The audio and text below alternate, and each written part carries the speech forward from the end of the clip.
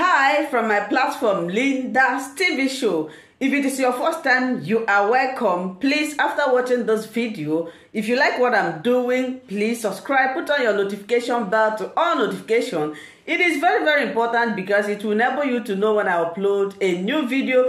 Here we upload videos on daily basis as it is happening. We are bringing it live and direct, undirected to you. After watching, you are free to criticize, you are free to say your opinion, but let us say it constructively. Myself Lynda will be standing here watching this video together with you from the beginning to the end. Then we'll go to the comment section. I appreciate you all my loving subscribers followers those who comment and share this video. As do you believe that there is a cause for concern here in terms of whether or not Nigerians should trust the results that are coming out?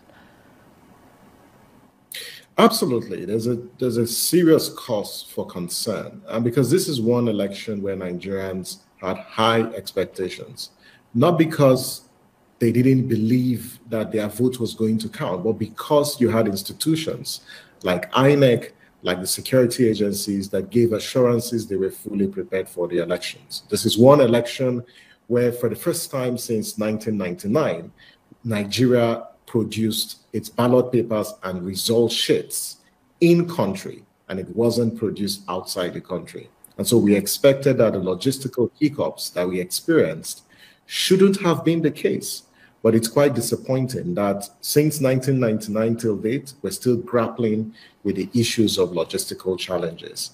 Um, this is one election that was built around electoral technology. Mm-hmm. And if there's one story out of this election, it's how powerful technology can break and damage the trust that citizens have on electoral outcomes. The delay in the transmission of election results on the INEC election results viewing portal, a very noble um, technological tool introduced by INEC, was disappointing and it indeed cast doubt on the integrity of the process. And I, I, say this quite frankly, yeah. that that this particular election has unraveled the need for deeper reflection about the role of our institutions and how we need to ensure that elections deliver integrity to the Nigerian people. I mean, it's remarkable, isn't it? Because INEC had one job. They literally had one thing to get right, and that is essentially delivering on what they'd promised. That is this idea, as you point out, of uploading all of the election results the minute they came in onto a viewing portal online for all Nigerians to see, that there would be transparency this time around. They promised the Nigerian people that. And the one thing they had to do in order to ensure that people trusted these elections, they didn't deliver. All of a sudden, lots of excuses trickled in about, uh, you know, the portal failing to work and issues with uh, internet, that sort of thing. Um, when you think about the other issues surrounding this election, it's not just about INEC and the transparency of those results. There are other factors as well. I mean, you just saw one of our reporters there talking about the level of violence at certain polling stations around the country. Also, election workers saying that they have been threatened, you know, in terms of losing their life if they didn't change or manipulate certain results. Just explain to us more broadly, beyond the INEC issue, what happened over the weekend. Well, from a Yiaga Africa's perspective, we did confirm about 131 critical incidents.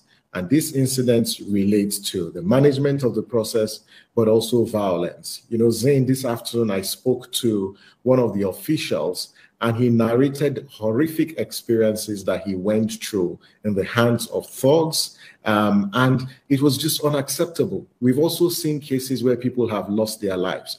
In one of the collation center in one of the states, um, our, our collation center observer was evicted, you know, from the collation centers because the thugs invaded the centers. And in one particular case, one person was shot was confirmed dead um, in the hospital. So you look at this pocket of violence, and it just says three things. That first, the political class, particularly those who are running and seeking political power, are not prepared, are not committed to democratic principles. They all signed a peace accord to refrain from violence, but we all we see is just observance of the peace accord in breach. The second critical issue relates to the functionality, you know, of the technology. And the BVAS technology performs two functions on election day. It accredits voters, and based on our data at Yiaga Africa, the BVAS did accredit voters. But when it came to the transmission of the results, um, in 68% of polling units, they took images of these results. But the big question was how come these results didn't make it to the portal? The right. third critical issue that relates to election logistics is the fact that some voters found encountered difficulties with locating their polling units because INEC migrated po- um, voters to new polling units just a few weeks before the election so many issues there. And I mean, you know, you did point out, and I, I, I, talked about this on my show yesterday, that the accreditation of voters, that that was one aspect that did actually work. But the transmission of the results, that, that was a whole other story altogether. When you think about what Nigerians are going through right now, our Larry Madowo did some beautiful reporting just yesterday, talking to ordinary Nigerian citizens about the issues, why, why this election is so important to them. And many of them said, look, nothing in Nigeria works. You know, some of the people that Larry spoke to were in tears, crying, saying nothing works in Nigeria. That means that the power situation is abysmal. You know, there's no reliable electricity in the country, as I'm sure you know. When you think about the healthcare system, it doesn't work. Public school education, that doesn't work. Water supply doesn't work. So many Nigerians feel a sense of hopelessness right now even when you rely on the government for something like elections that allow you to actually change the situation in your country, that system doesn't work.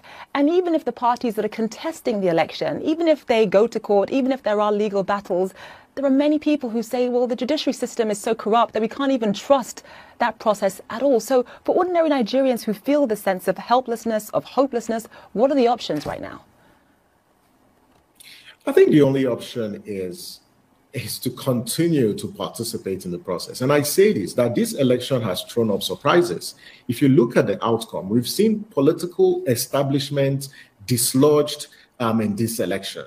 We've seen how you know incumbents have also lost you know um, the elections. Why? Because the people in those constituencies determined it was time to reclaim political leadership and reclaim the state.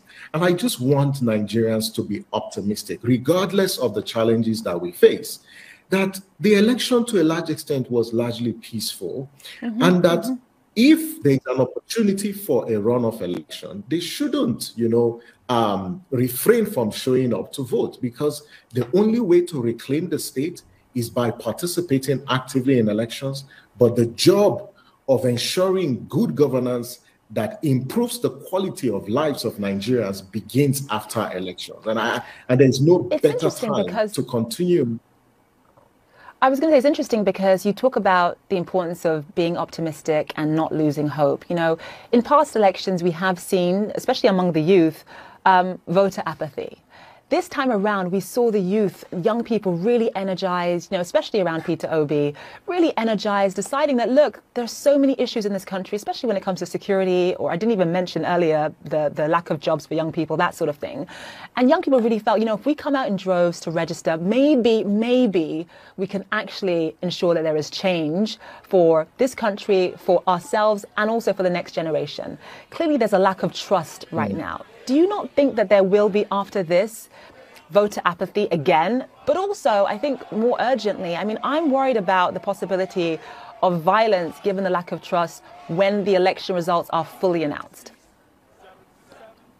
Well, anyone who thinks that the, the, the task of reclaiming the state will happen in just one round of elections will need to have a rethink.